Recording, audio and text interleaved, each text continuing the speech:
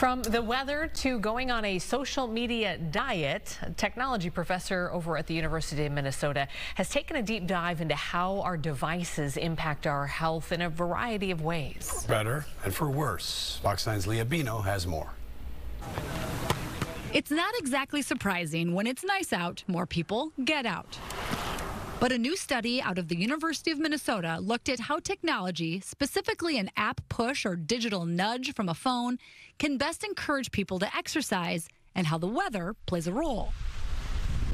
How do we get people to be active? Because uh, folks who are just sitting at home watching TV, not moving a lot, we found that to be a very bad uh, epidemic. In fact, uh, the WHO finds that about 80% um, of the global population are leading sedentary lifestyle. And that could lead to a whole host of issues such as heart diseases, diabetes, um, even mood related conditions like depression or anxiety.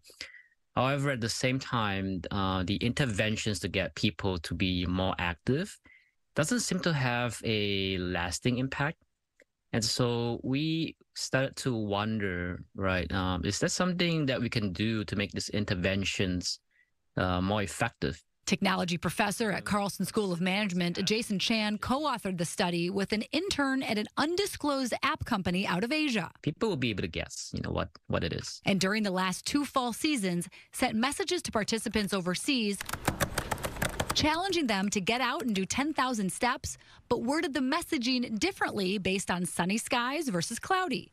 They found on sunny days, people completed the 10,000 steps more often when the digital nudge had a negative tone. For example, you run the risk of heart disease if you don't exercise. Yet on more gloomy days, positive wording did the trick, such as you will have improved health conditions if you go out and exercise. I strongly believe, as a technological uh, technology professor, that uh, IT apps, all of these things, uh, we we could extract value out of it. Professor Chan was called upon for this study in part because of his history authoring multiple award winning studies looking at how our time with devices impacts our health in various ways. One of his papers found a link between Craigslist usage in the personal category and how it reflects an increase in community HIV. More recently, he helped create and test a social media blocker.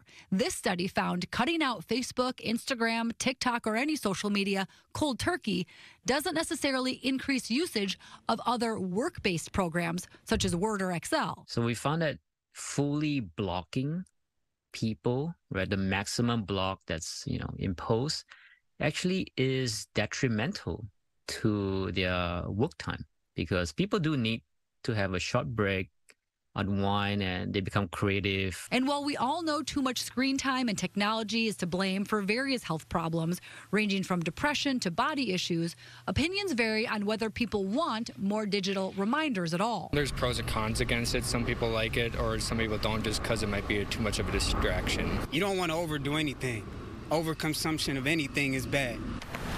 That's part of the reason Chan believes these and future collaborations between academia and tech firms and figuring out positive usage is crucial. Just like the knife, right? The knife, if you were to use it as a weapon, of course, it will hurt people.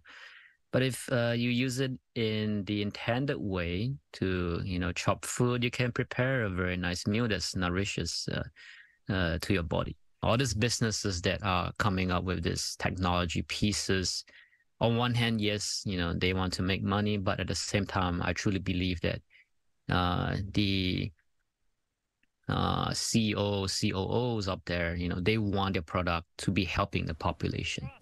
Chan aims to do just that. I would like to see a world where technology can be harnessed for good.